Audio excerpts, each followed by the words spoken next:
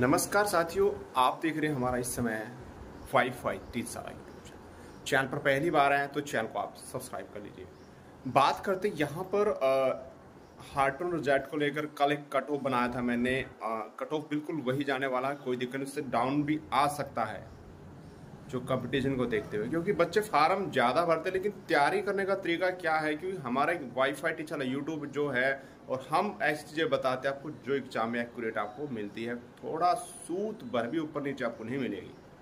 बच्चे फार्म भर देते हैं एग्ज़ाम जाते हैं, वो डॉक्यूमेंट ही नहीं नहीं लेके जाते बताओ भाई, वो कैसे तैयारी करेंगे? तो इसलिए यही है, आप रिज़ल्ट की बात करते हैं, अभी ऑनलाइन टेस्ट होता है टाइपिंग का तो रिज़ल्ट बहुत जल्दी आ जाता है।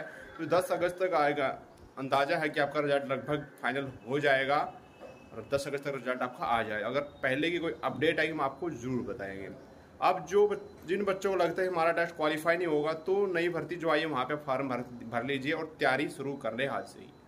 डिस्क्रिप्शन में वाईफाई टी सारा टेलीग्राम ग्रुप है। डिस्क्रिप्शन में वाईफाई टी सारा dot blogspot dot com website है हमारी। ठीक है? इन चीज़ों को आप कर लीजिए और घबराने की आपको ज़रूरत नहीं है और किसी को कुछ पूछना मुझे कमेंट कीजिए और कमेंट में ज़रूर बताइए कि आपने कितने डिस्ट्रिक्टों के टेस्ट पास करे हैं। सभी का कमेंट आना चाहिए, ठीक है?